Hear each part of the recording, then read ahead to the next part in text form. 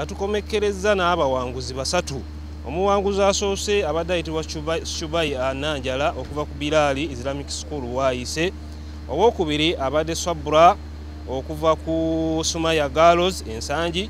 Owokusatu abadde kabega musa okuva gangu muslimu uh, wano mu kibuga kampala.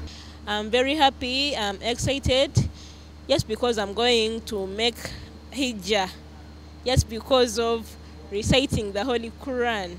I'm so excited and I'm encouraging all the parents to take their, their children so that they can recite the Quran like me.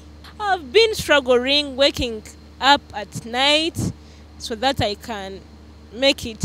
الحمد لله رب العالمين ولا عاقبة المتقين ولا عدوان إلا على الظالمين ثم الصلاة والسلام على رسول الله صلى الله عليه وسلم وبعد allah subhanahu wataala butegeeza n'atugamba mu qur'ani audhu billahi min ashaitani rrajim bisimillahi rrahmani rrahim inna anzarnahu fi lailati lqadr allah ategeeza nga ategeeza mu tteeka eryo timazima allah yassa qur'ani mu kiro ekyokugera.